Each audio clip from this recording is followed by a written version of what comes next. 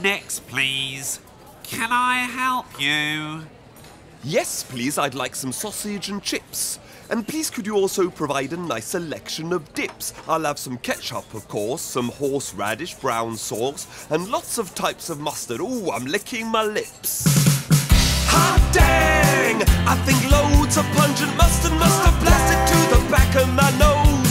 Abort, abort, it's now a swig of water,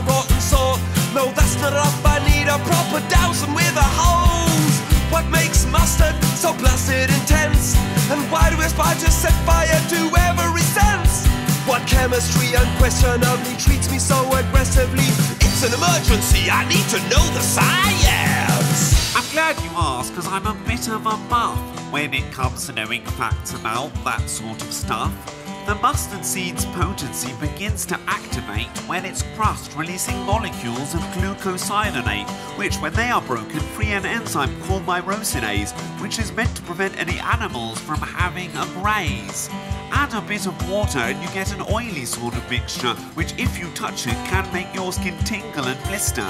If you now leave this solution to sit for a bit, it eventually enters a state where you can actually eat it. Then you add an acid to halt the flavour's further reduction, and that's your basic introduction to the stages of mustard production. Hot dang! You know loads about what's getting funky at the back of my nose, but I still don't understand why people choose to ingest a thing the plant evolved as a defense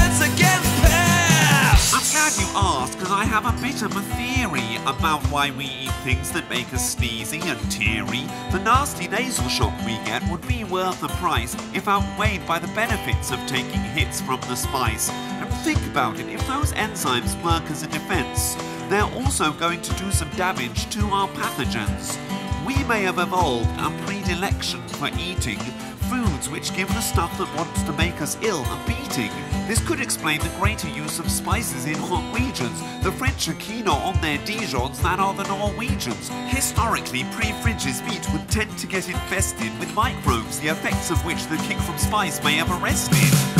Hot dang, you're a bit of a whiz. Now I know why I choose to send my senses into a tears. Any chance of adding a dollop of mushy peas? That's over by the Fabaceae. Next, please.